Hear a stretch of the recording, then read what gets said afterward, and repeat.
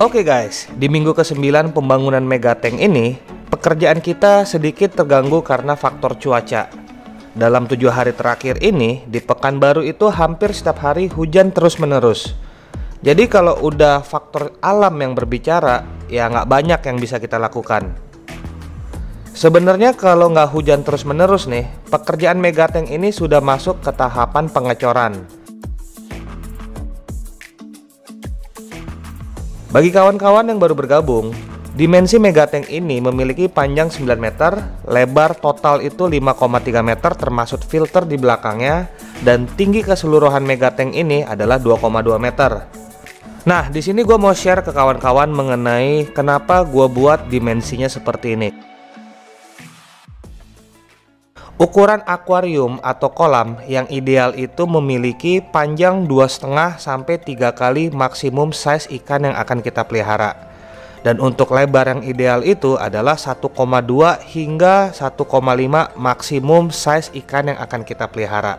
Jadi di sini kita tinggal menentukan kita buat kolam dulu terus ikannya menyesuaikan atau kita udah tahu kita mau melihara ikan apa dulu, kemudian ukuran kolamnya yang disesuaikan.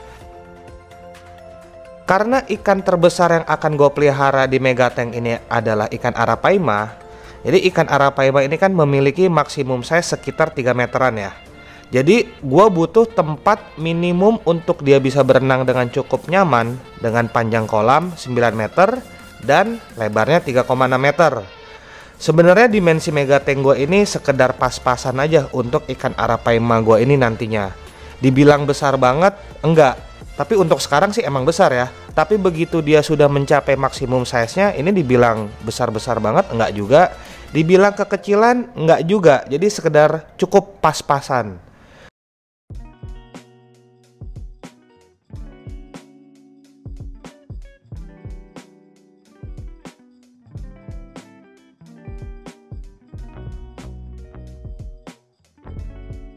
Kemudian alasan kedua gue mengapa gue mendesain dimensi Megatank ini seperti ini, ini karena faktor estetika. Jadi gini, pabrik di mana gue memesan kaca untuk Megatank ini, mereka hanya mampu memproduksi kaca laminate tempered sepanjang 7 meter maksimumnya. Jadi kalau semisalnya gue buat Megatank ini dengan panjang 12 meter nih contohnya, ya berarti gue harus pakai tiang tengah lagi seperti Megatank gue yang lama. Dan alasan yang ketiga ya karena masalah budget. Kan semua ini ujung-ujungnya duit nih guys. Dengan kaca bentangan yang cukup ekstrim ya 6,5 meter. Kaca yang gue pesen kan panjangnya 6,5 meter tinggi 1,7 meter. Ini jatuhnya sudah menjadi kostum. Dan harga kaca kostum ini nggak sama lagi dengan harga kaca standar yang ada di pabrikan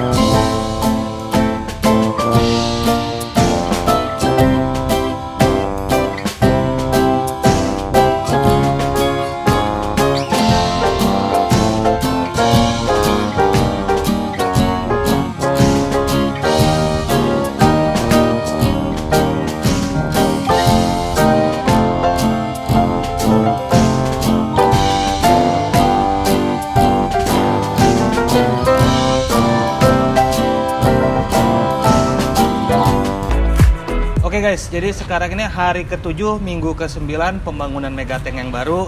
Jadi di sini kita sama Kohau, ini kita udah di penghujung acara untuk fisik ya. Fisik megatank ini Struktur, udah struktur. struktur, struktur ini udah di penghujung. Jadi ini bagisting udah hampir selesai semua.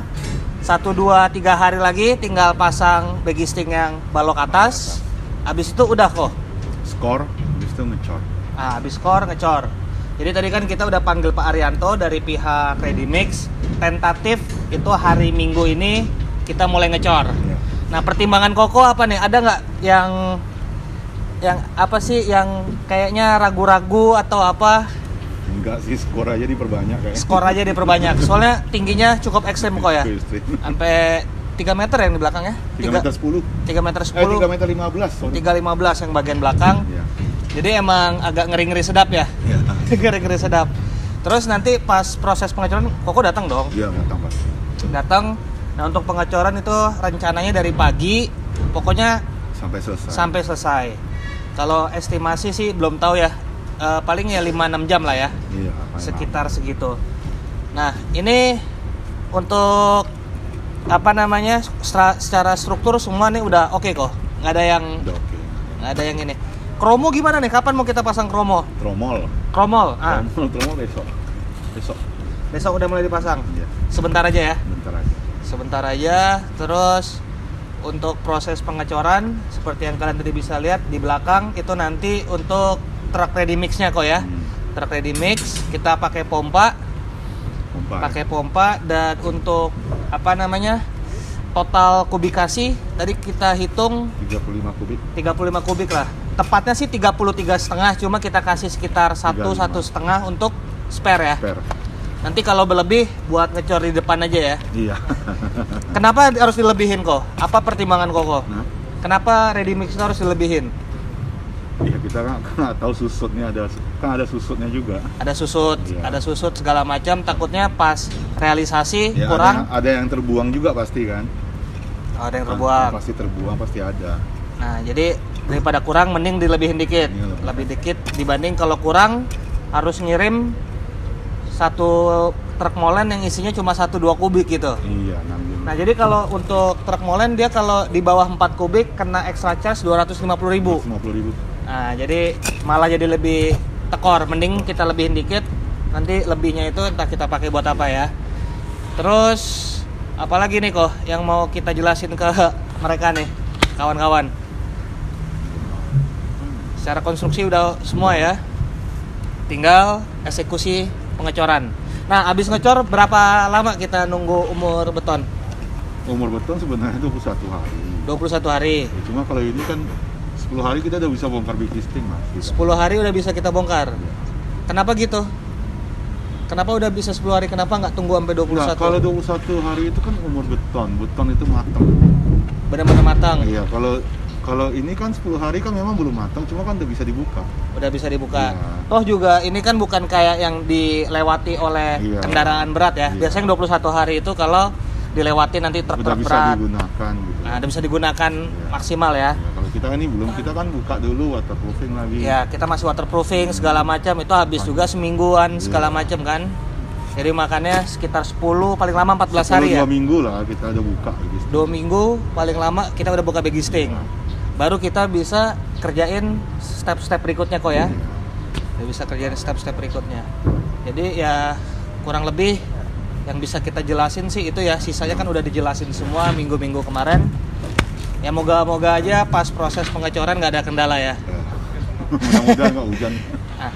Musuh utamanya hujan Iya. tapi kalau gerimis-gerimis nggak masalah kan Bisa, bisa. masih bisa tapi kalau hujan yang Iya, besar besar. baru emang harus stop ya Iya stop lah, karena nanti kan air kat- pasti mutunya langsung berubah lah. itu langsung berubah Iya kena air. Jadi moga-moga aja nggak ada halangan di hari H pengecoran.